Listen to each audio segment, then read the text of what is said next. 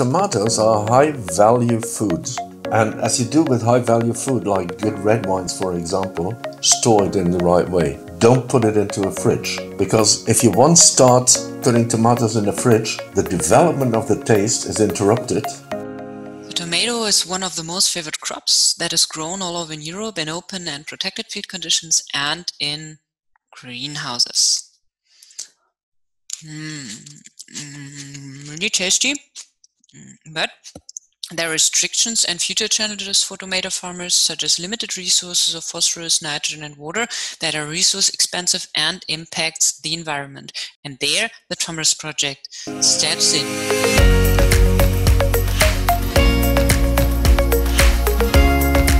So the overall goal of the project is to reduce nitrogen and phosphorus application by 20%, while uh, the water application shall be reduced by 40%. So the TOMRES project is divided into six different uh, working groups. So we've got, first of all, the tomato group, which is uh, here selecting specific tomato lines which are appropriate for growing under stress conditions as well as well waters and well nutrified conditions. So Jan, so these are your tomato babies mm -hmm. for the next grafting experiment yes, within exactly. TOMRES? We are selecting from the big, big amount of something like 40,000 tomato accessions we have worldwide. Um, and we're trying to, to bring this huge amount down to 200, 250 lines we can really screen in TOMRES within the project.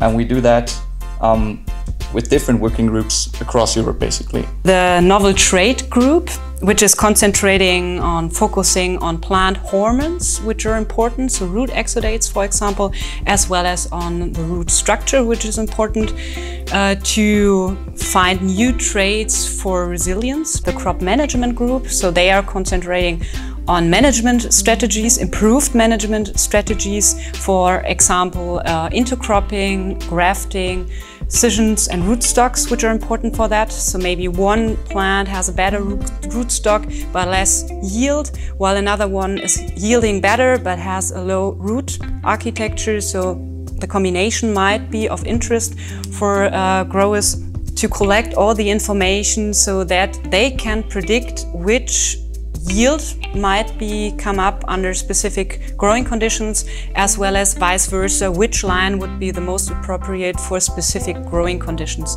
What we like to what we try to do in uh, in Neurath is produce our tomatoes with a carbon footprint of zero and looking for opportunities to improve the tomato in general uh, in terms of quality, uh, taste, especially taste responsible uh, working with resources. We are interested in any change. So if there is a new variety developed with a better yield or better traits or simply less usage of fertilizers, for example, it is really welcome for us. The communication group, which is collecting all the information from the experimental groups to ensure an effective exchange of information beside the scientific publication, to post some messages on your website, mm -hmm. to use social media. And you could also send it via a newsletter, so with current outcomes.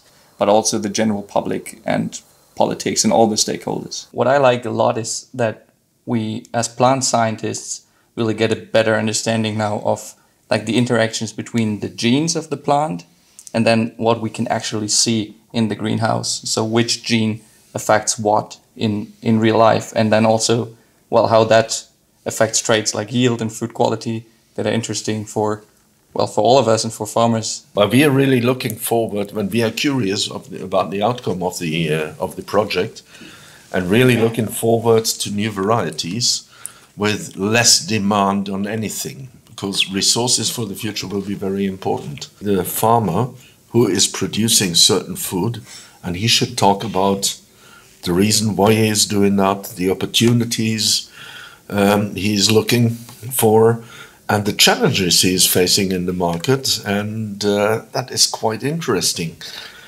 So remind the people what is what is going on in in a interesting farming production and it's such an such a positive message you can bring over to the consumers.